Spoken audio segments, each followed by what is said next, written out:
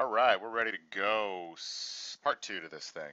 Um, in part one, we talked about, uh, just to recap, how to capture the essence of the shapes, understanding like the basic forms. Um, I also want you guys to, uh, if you're going to follow along, is download the brushes. Um, the way you get those, I didn't show you last time, but you go to shaddyconceptart.com, which should be here on the bottom, um, and you click on brushes and then you just click on this link right here, Safadi brush file, and it downloads an ABR file that goes into your uh, that goes into your brush set, and then it will replace your brushes with uh, these brushes. And I don't want you to use any other brushes besides these if you're trying to follow along, because these are the best brushes, um, and they're set up exactly the way they are on that file. All right, so next step on this painting is we got all the basics in there, and now we're going to focus on, uh, let's see, getting some of the beautiful shapes that are in here. And, and what that involves first, first is looking. And that's the number one thing nobody does because everyone's so anxious to get to their painting that they don't bother to look.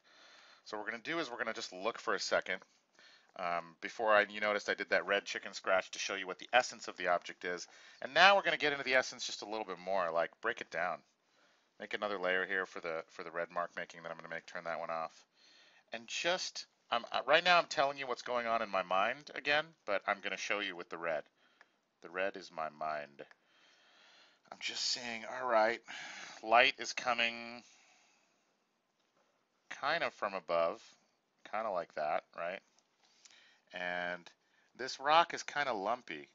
The nature of it is kind of round and lumpy, and it's got all these little bumps. Now, I can already tell you right now, just from experience, that I'm not going to get into all these little bumps. I'm going to try to stop, like maybe do a few of them, but I'm not going to get into all of them. And this is not a superb picture. It's an okay picture. So you lose a lot of the detail in the shadows. Um, but you have a decent amount. Um, and I'm just kind of getting an idea of like there's a lot of round shapes, how light is hitting it. And now actually looking at it closer, I didn't even notice this before because I wasn't looking closely enough, is this rock right here is separate. It's a separate rock from the one behind it. And this one's actually darker and so the light hitting it doesn't even get as bright. You can see the water kind of goes in behind this rock a little bit. And it's coming from this side, splashing up on this rock a little bit, getting a little bit of these tendrily little shapes, which are really nice. And then there's these watery glints that are just from reflections from the sun. So take some time, you know, get in there and look at it. Um, and we're not going to get to color yet. All we're going to do is from far away, I'm going to turn that off. I'm going to say to myself, all right, let's let's finesse this silhouette. And we're going to start with this one since it's the focal point. And still thinking about the essence, by the way, when you when you make a mark and hit undo, it undoes your layer selection. The most annoying thing in the history of the universe. I've emailed Adobe about it every single time they come out with a new version. And they tell me absolutely nothing. I pay someone $100 for that plugin, by the way. A plugin that could prevent that so that I don't click here, make a mark, undo, undoes my fucking layer selection. You know what I'm saying? Programmers, $100 just for that plugin. Anywho, so uh, I made this initially really loosely, but now I'm going to be a little more true to its essence. And I think I kind of want it to be more like how it is. I notice there's a notch there, but I'm going to leave that out for now. Uh, you'll notice I switched to uh, color picker because I have Alt on my Cintiq um, as one of the hotkeys. My hotkeys are Alt, Undo, Redo, Grabby Hand. And actually, let's go back here for a second. Here's my Intuos setup. Um, I'm not going to go through it here because it takes a, takes a little while, but notice if I have, if you have an Intuos 4, you have four buttons on top, four buttons on bottom. The top one is Alt, Control Alt Z, Control Shift Z, Spacebar, Shift, radial menu, F, Control M. Now, in my classes, I force people to do this. Now, some of you have your own way of doing it that you like. Fuck your way. That's all I'm saying. Just fuck your way. My way's better. Do it my way. Because when you're working outside on a laptop, you don't want to go into your keyboard and this is all the buttons you need because they're all the buttons I need. Right? Obviously. So if I if it's good for me, it must be good for everyone else in the history of the world, right? All right, there's been an occasional student that needs a right click or someone that needs a right click. If you need your fucking precious right click, you can put it somewhere. But you can't put it on the zoom because the zoom is the up and down of your pen, control minus, control equal. So go through, set up your buttons exactly like this. If you want to get into the radial menu, you can. for more advanced stuff, but you don't need to. The main things you need, even if you have an Intuos 3 from medieval times, is Control Alt Control Z Shift Z spacebar, and in those exact places. And when you start getting a workflow that has these buttons, you'll know why. Um, and on the Intuos 3, you need to do the brackets to make your brush size up and down. Um, yeah, definitely at least try it like that, play around with it, see if you like it. You, I think eventually you will start to like it, and that's available right here on brushes on my site, the explanation of how to do all that. All right, because yeah, I noticed that, you know, you'll notice here it's constantly just going to color picker, and you're like, how's that happening? Well, I'm off camera, I'm, I'm, I'm pushing Alt button. All right, so I'm gonna change this picture. Like this goes all the way to the end. I'm gonna explain to you my thoughts, but like I don't want anything. You don't want anything kind of butting right up against the edge. You wanna you wanna give yourself some breathing room. Um, like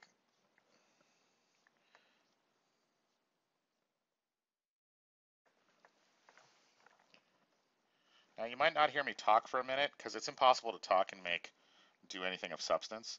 All the sexy initial stuff, yeah, you can like explain it all and talk about it. But if you're really getting some work done, you kind of have to focus on it.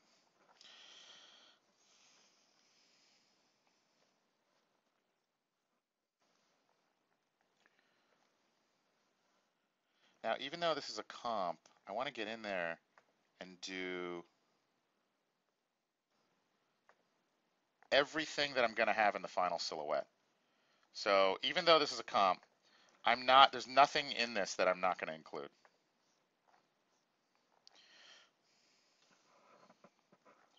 Okay, that's kind of above the horizon. I'm noticing actually that maybe this entire thing, maybe I'm going to cut that notch out. And notice I, I, try to do like a couple small shapes and then a big swooping shape. So even though this has a lot of little bumps in it, I'm not going to concern myself with all of them. I'm going to try to kind of say essence-wise, what are the what are the essential bumps that I need? Now, the thing about doing demos like this is everybody says the exact same things. But what it comes down to is the decisions you actually make. Because everyone will be like, you need some areas of rest, you need some areas of detail, you need blah, blah, blah, you need composition, avoid the edges. But the, the actual on the field, day to day decisions you make, that's what's determining um, your sensibility. And that's neither here nor there. I'm just telling you information. Um, I feel like this whole rock is probably slightly higher up because this notch is kind of not in the same place as that notch. So I'm going to use Photoshop again because it's the program I'm using to go ahead and Photoshop it. I'm going to move that up just a smidge, a smidgelton and I have my white thing. I, I usually can see the layers without labeling them, but some people, and rightly so, like to name their layers. I just don't feel like it. I never feel like it. But it's a good idea. Do as I say, not as I say to do. Okay, so let's see. Mm, yeah, that's probably a little closer. Now that notch is in the right spot. And that little notch we had in the first one it's actually a whole nother object. Okay, now I'm kind of turning my body a little bit because I want to get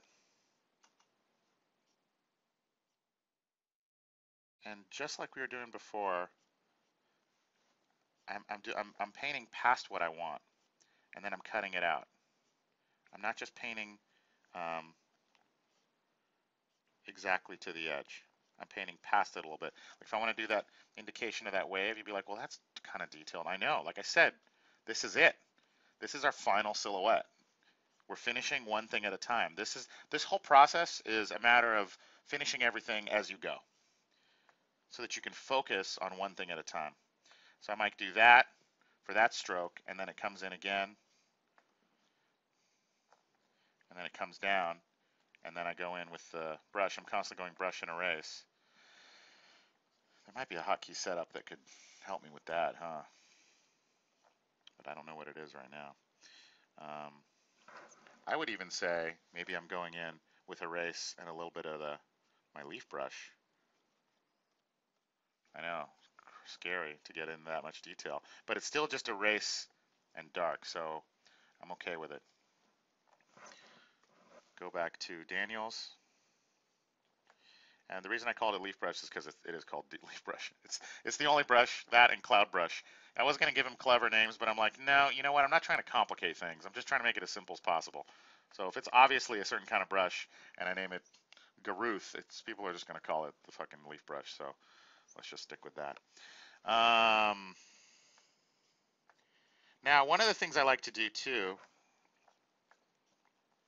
is keep an artist's work that I'm trying to copy. Okay, so in this case, I pulled up this piece. This is a Jaime Jones piece. Um, he's the greatest digital painter in the history of the world so far. And I'm looking at his mark making, especially here. This is called the juice, by the way. this is called this is called the makes you want to quit art. If you look at this and you don't want to quit art, that means you really, really suck because you don't even you don't you, don't even have the concept of what's good. This right here is a magical festival for the eyes, and I think it's important to have a, a person's art up, even in your file. I'll put it in my file in a little bit, um, in the same file, so you can have a look at it. In fact, let's do that right now. Copy paste it.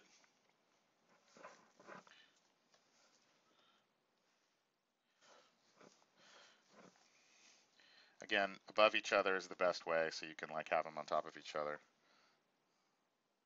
And that'll be good. I can turn that off and on. Um, but it's important to have one person's art that you're copying every time you're trying to get better. If you're trying to get better, if you're trying to stay the same suckiness you are now, then just don't bother. Find your own path through it. But the process of getting better at art is only appearing to be better, right? It's only appearing. No one's ever seen someone else's great brushwork and be like, wait a second. That's not your brushwork. I recognize that brushwork. No one's ever done that in the history of art. You see awesome shit and you say, holy crap, you have suddenly achieved goodness. No one cares how you got there. And in fact, copying people is almost, I think, the only way to get better fast. Now, you want to learn all your own lessons and spend 30 years, you know, getting good? That's not what Jaime did. He studied masters. He looked at master paintings and was like, what are they doing? I'm going to do that. That looks good. And keep in mind, with art, it's not about being good. It's just about looking like you're good. The whole thing is looking. There's nothing else besides what it looks like. So if you can fake it, then you've achieved it. There's only faking it. There isn't anything else. This is a visual, superficial looking medium. There is no soul underneath this painting. It's a literal painting. You have a soul when you're making marks, but if you see someone else who has an incredible, rich way of making marks and you can capture that, to understand the essence of the object and make it your own. And incidentally, you will make it your own. There's nothing you can do to not make it your own. You did it. So inherently, your uh, your doing of it will be uh, will change it. And if it doesn't, if you're just a rip off of somebody else and that's your career, well, we're not in a we're not in an art career anyway. This this whole business is about beauty. This whole concept art game. If you're a fine artist and you're trying to revolutionize the world of art, then you're in the wrong field because this is just beauty masturbation. That's what this career is, this career path. And that's what this outdoor painting thing is. That's why it's not, you know, it's not respected in the art world anymore. It was at the turn of the century, but it's not anymore. You don't go to the MoCA and see landscape painting. You see it as an antiquated sort of pretty thing that people did before contemporary art came on the scene, which is fine. Now, there's those of us who uh, love beauty so much that we don't care. We'll just keep doing it forever. I don't care if it's in fashion or not. I don't give a shit. I just like waterfalls and rainbows. That's what I like. And I like rocks and I like pretty waves and I like epic shit. Is it high art? No, it's not high art. It's just retarded. It doesn't doesn't necessarily say anything except for that the world is beauty, beautiful, and be in the present moment. I'm sure a lot of people have opinions about. Uh, oh no, it is or it isn't, but who really cares? If you like making pretty things, make pretty things, but um, then don't talk shit about Thomas Kinkade, because that's all he does too. But he's dead now. Is it okay to talk shit about him now that he's dead? He really sucked. That shit was horrific.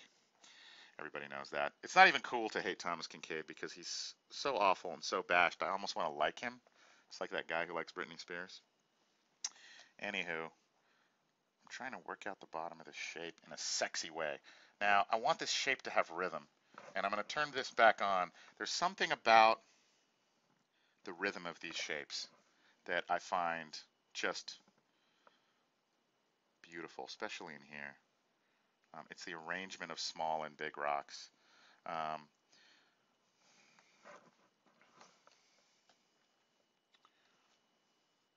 And you know what? I think part of it is that that, that wave is just lackluster. And really what it needs to do, it needs to like froth up a little bit more.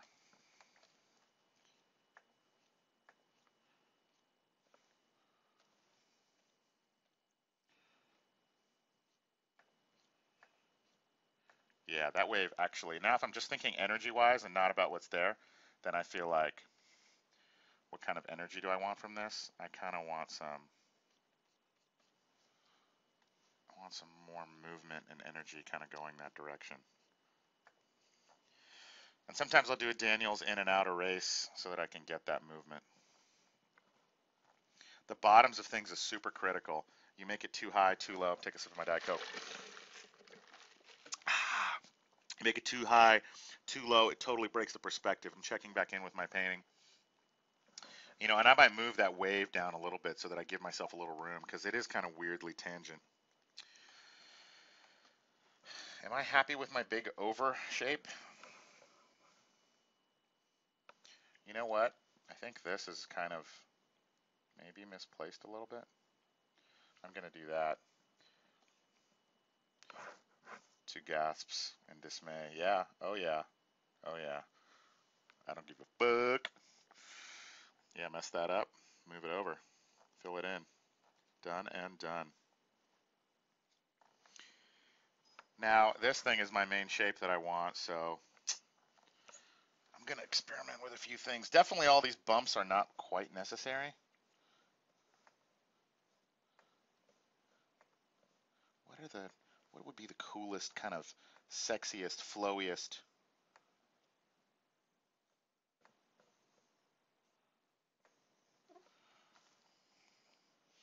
Like a whooshing. I'm kind of thinking sound effects.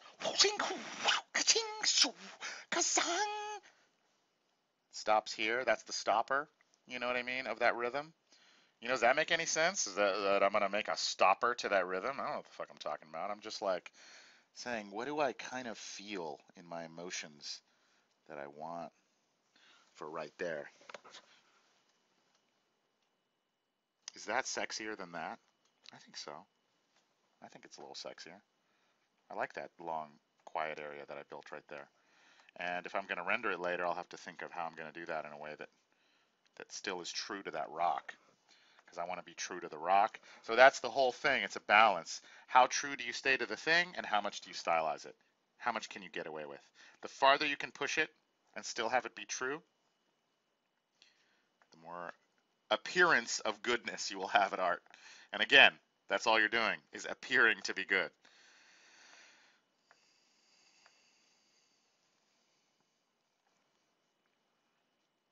Yeah, maybe all these little shapes here are a little bit distracting. They're kind of, you know, in my mind, just like I was showing you an example last time, that one shape that I put here, in my mind, you're thinking about it constantly, like what shapes are taking away from what other shapes, and what's my focal point. I want to keep my eye in here. So if you have a lot of little shapes, make them make a couple next to each other, and then they kind of all go away. You know, this kind of this whole thing goes back a little bit or should go back a little bit more.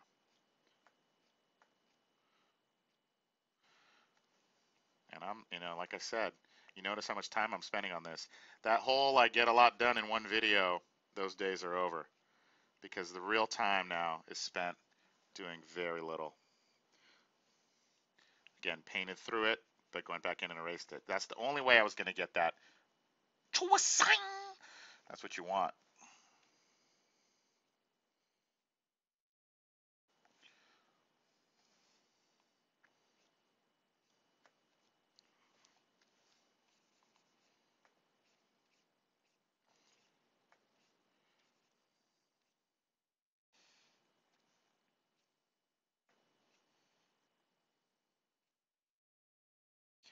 And once you sp spend this much time on this part of it, on just silhouettes, later you will kind of understand, oh my God, that is super handy that I sorted that out because I am like done. You know, I don't like that curving in so much. Maybe that.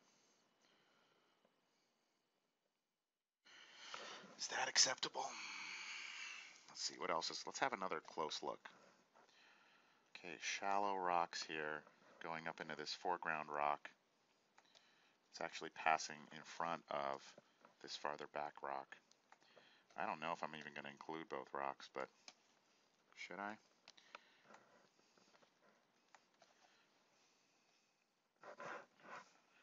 And maybe I need to pull this forward a little bit.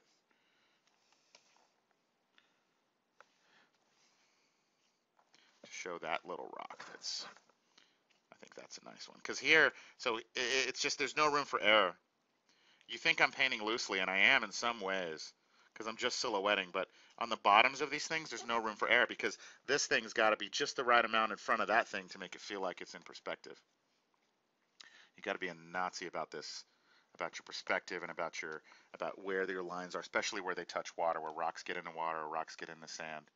Um, and I like that those couple rocks up there are all that I have, and um, and then they kind of end right down here too.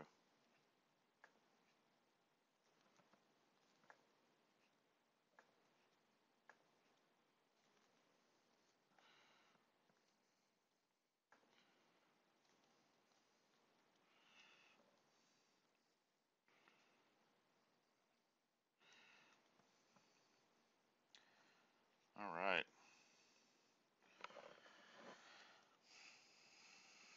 All right, so maybe I styled that shape a little better, and it's final, right? I'm probably not going to do much else to it.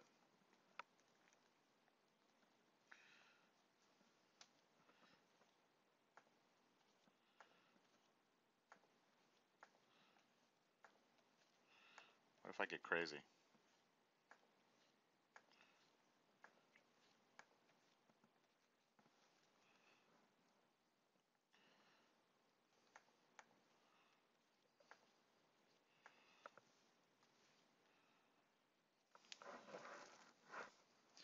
Copy paste. What if I do that?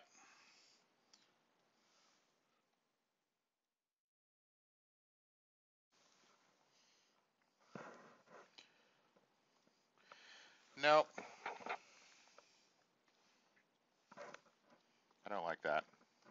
But as a little experiment, just to see what can I do to the shape to make it kind of better and more sexy. Um, I like that this whole side is higher.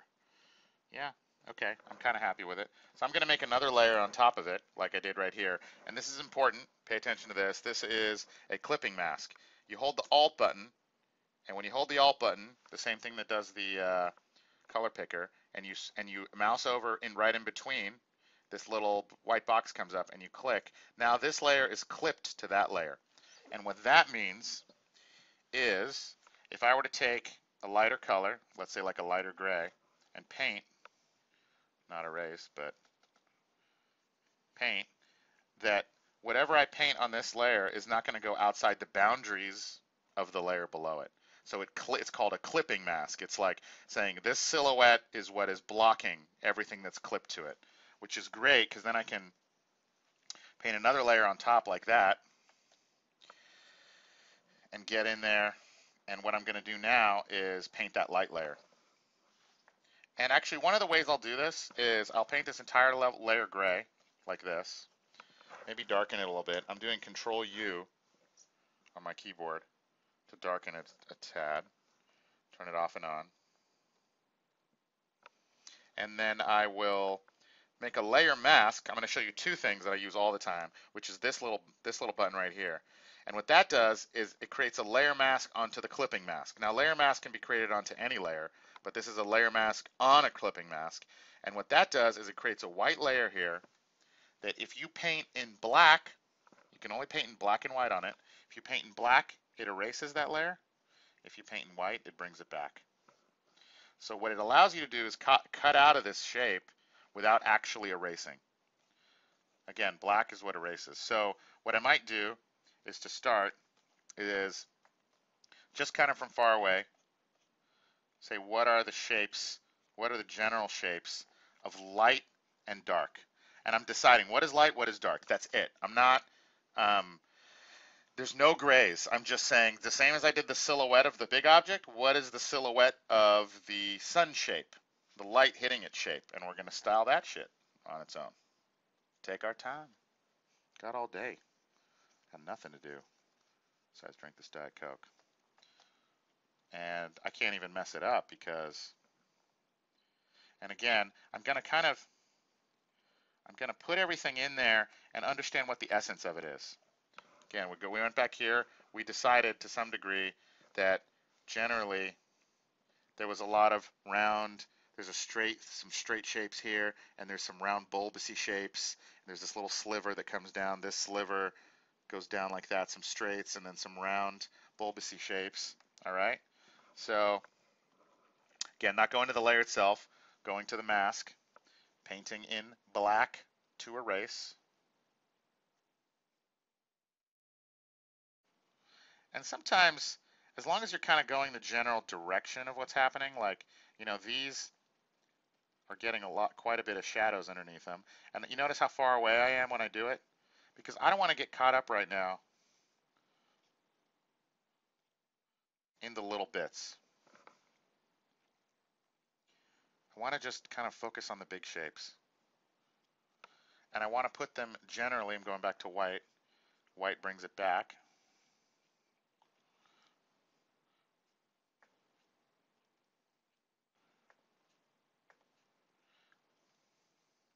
And you know, it gets it gets faint, but I'm deciding what's white, what's black.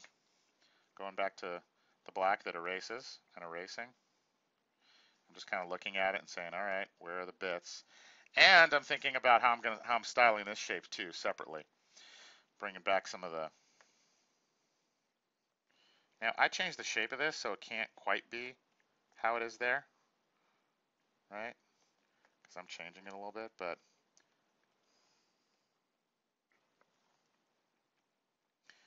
And you might notice, well, some of these strokes are kind of sloppy, but that's okay because I'm just trying to get like the energy basically of what's happening there. see how the light is hitting that. Well, it's blocked by this one. There's a lot of cool shapes in there.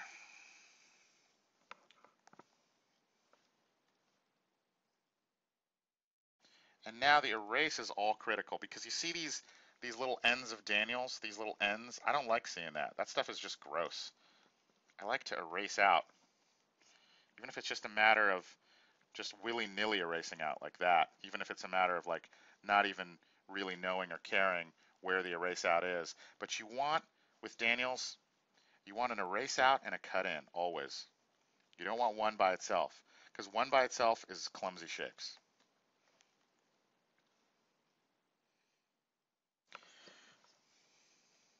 Now, because this black and white thing can be analog, I'm going here to Tyrion Lannister, and I'm just gonna, I'm gonna start getting crazy and start even doing some soft edges. Tyrion Lannister is a nice, if you need help with that. He's right here, Tyrion Lannister. And that guy, unassuming but useful because he's got a little bit of texture, a little bit of texture, but not too much. And you see, I'm still in the layer mask. The layer mask understands every manner of gray. So I, I can just, I can love on this all day and night. Oh, see, I missed out on that big shape. Oh, and I forgot about my boy, McNulty. Oh, where have you been, buddy? McNulty is just the best brush ever. I can't believe I forgot about him. Look at McNulty. He's epic. McNulty already has like a very nice natural rocky feel. He can be really thin and beautiful. He can also be kind of like block in and loose. He can look like trees. He can look like shrubbery. He can be rock. He can be clouds. It really is the greatest brush of all time. So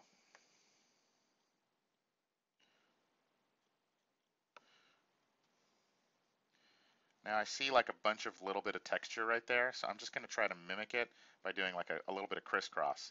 Once I kind of know what's happening, I don't need to, to draw it exactly. I can just kind of get it in there.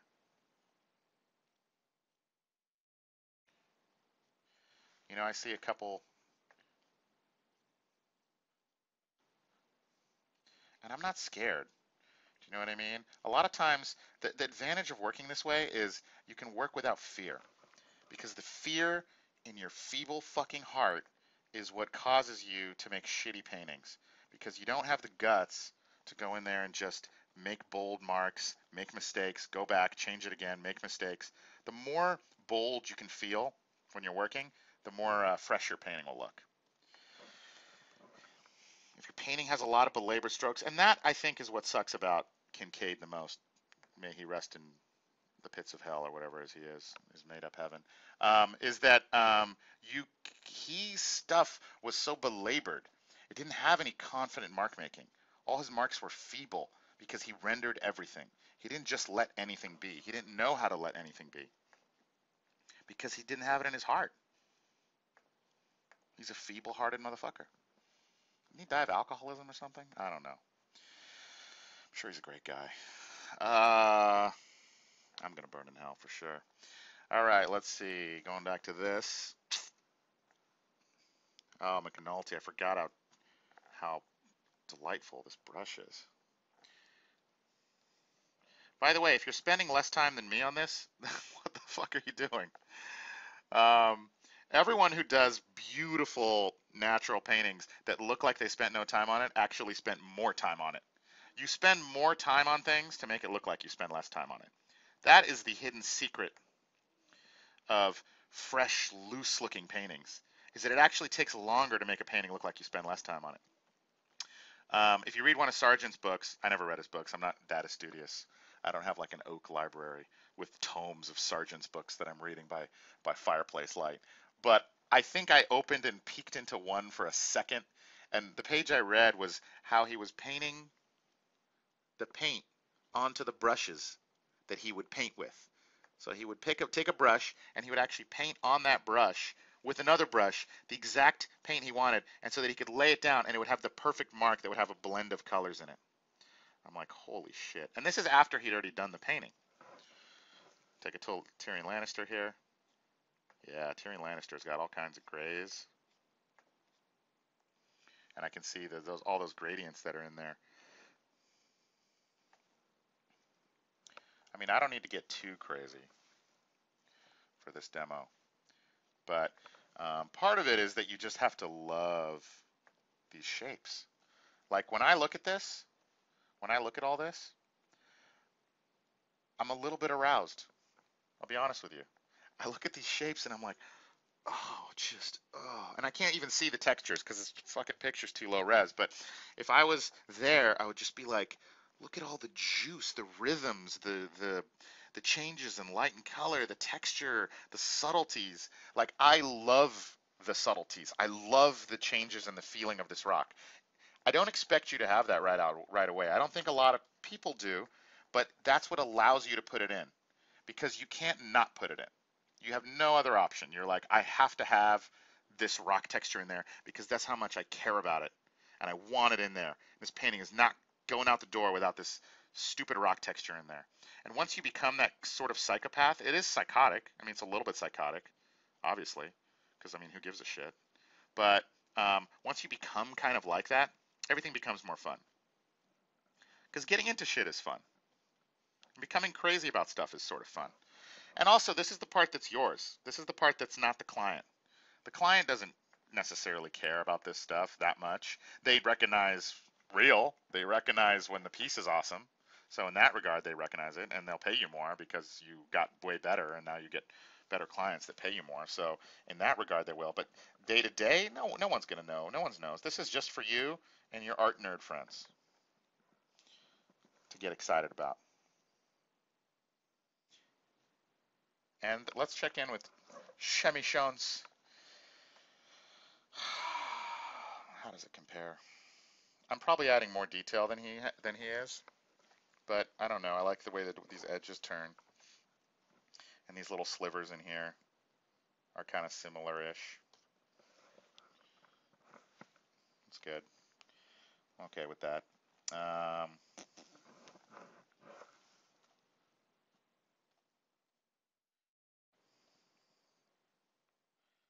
and I'm, I'm again, I'm cutting in, cutting out. With started with Daniels, now I'm with McNulty. And it looks like I'm just randomly making shapes, which a lot of people do. But think about the way the copying. First, you can just copy the shadow light, but then understand what the turn of the forms actually is. Understand that like these forms are turning. and this is a rock shape. Once you know that that's this is a rock shape like that, then when you know that and you have it in your mind hole, you go back here and you can understand, oh, well, oh, oh, that actually turns down. Just from me looking at it right now, I'm like, well, you know what? Maybe actually I'm on the, I'll make sure I'm on the layer mask. You, you got to make sure you're on that thing because you can see the little brackets will be on different things and you want to be on the layer mask painting in black because black is erase. Oh, the undo. And why I click on the side here so that my first undo doesn't go back. Okay. All right, we're going to wrap it up here. Uh, in the next session, we're going to keep on styling and talk about color. Thanks for listening.